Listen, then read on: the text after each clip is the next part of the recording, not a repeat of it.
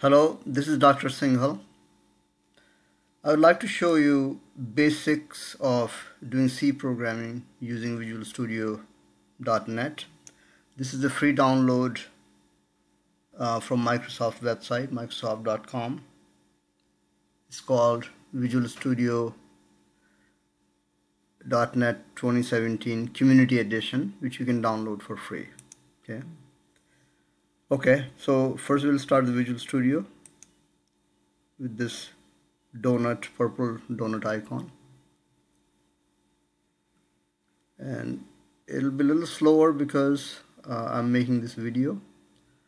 Uh, when videos are made, a lot of RAM is used. Things slow down a little bit.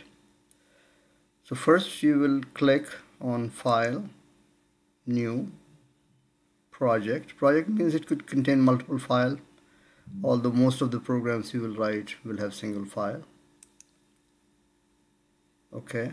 And then even though it says Visual C++ you should there's no C here but still use Visual C++ and empty project.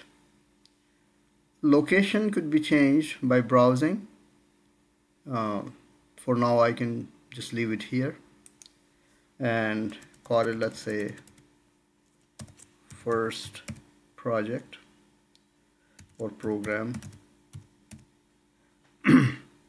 And click OK. And it's going to create the first project. Again it's going to run a little slower because making video takes a lot of RAM. If this Solution Explorer window does not show up, then you can click on View, Solution Explorer. In this case, it's already showing up, nothing is going to change. And then right click on source file, add new item. This is the crucial step. By default, because it's a C++ project, it's going to put cpp file here but that's the one that you have to change to .c extension. Okay? So we'll say hello world dot c. This is the very important part. Okay? It should be dot c extension for c programming. Click add and it will show up here the blank page will show up here. And now we'll type our C program source code. Uh, first is including preprocessor number include stdio.h this is the header file that is required in order to access printing to console or taking input from the keyboard and that should be enough. And then we write a main function which is always run first int main and a blank body after that. Now what's going to happen is that uh, program when run will actually close by itself so we will need to do something to keep the console open. We'll do that in a minute. So first we want to do the classic program that print hello world to the screen. So we'll use print printf. I'm not typing right printf. And hello world. And slash n will give us a break line break. So this is to print uh, hello world to the screen. Now if we run the program right now it will actually the console will close by itself. So we need to keep console open and in order to do that we need to take a prompt system for a user input but not actually do the input. When a system input is expected the console will stay open.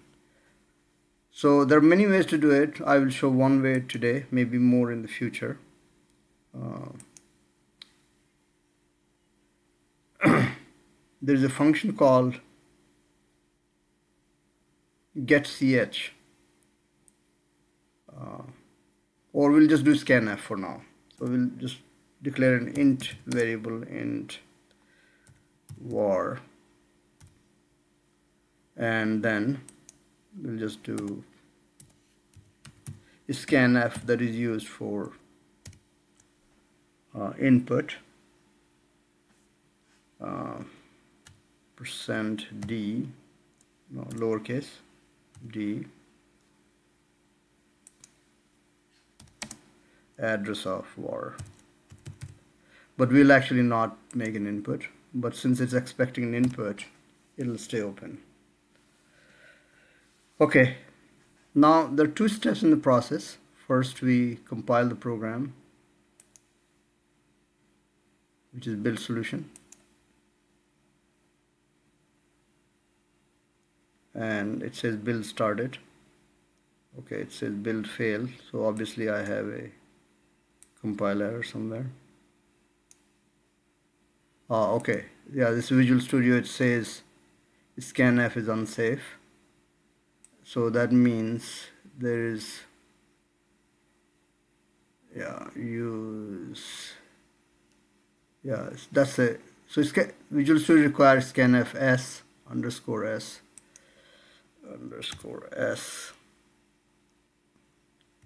There is a way to suppress this but we were not going to do that now in Xcode in other systems it will work. It's not a problem. So build it again. Yeah it succeeded now. Once it succeeds that means there are no um, compile errors. And now we can run it. So you should say start without debugging. And here it is hello world. And since we don't have an input we will close it. So that's the way to do write a C program. In C program it is required that all the variables are uh, here at the top declared first and then the program is written okay thank you